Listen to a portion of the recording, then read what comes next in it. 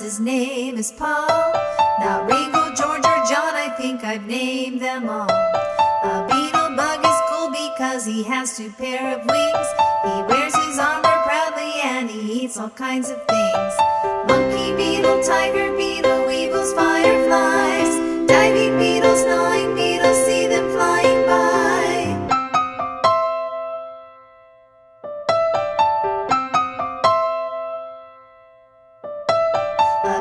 Really neat because he understands.